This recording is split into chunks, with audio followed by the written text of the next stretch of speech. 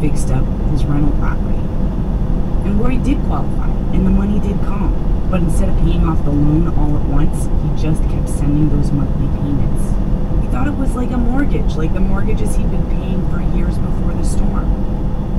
Roy found out how big a mistake he made when he came home and he found this sign on his house. Can you read what it says?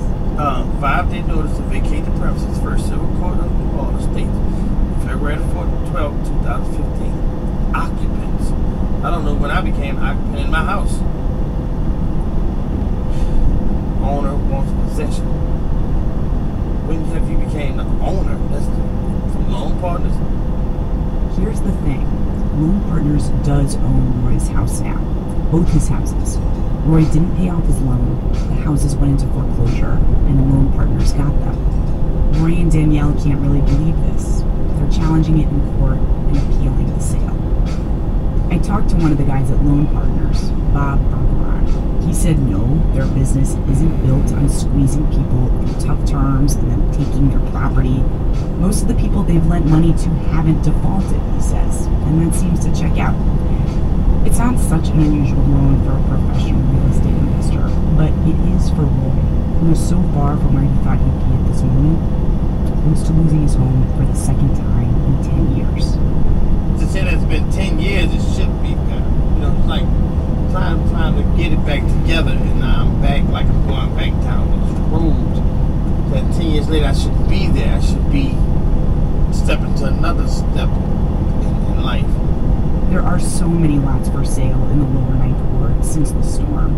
And in Roy's neighborhood, people are buying them up, building new houses, then turning them around and selling them for a couple hundred thousand dollars just down the street from him. It's a fortune compared to what Roy paid 15 years ago. I think the neighborhood will be like, like in 10 years. 10 more years, well, all us will be gone. Black home, we'll be out of here. 10 more years, this is just my theory. They're gonna be done kicked all of us out of here. They're gonna have these nice big pretty houses back here. Have the street car come down to the middle. They're gonna have the jogging thing in the back, levee, and then we'll be gone for good. I hope not, because I hope to still be here.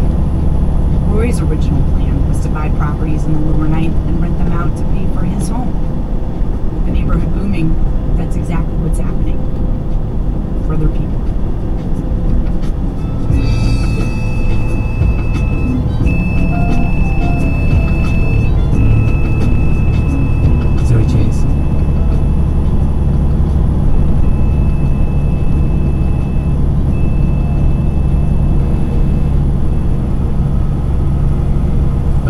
The fifth stop in our tour of the lower ninth, Royal Street.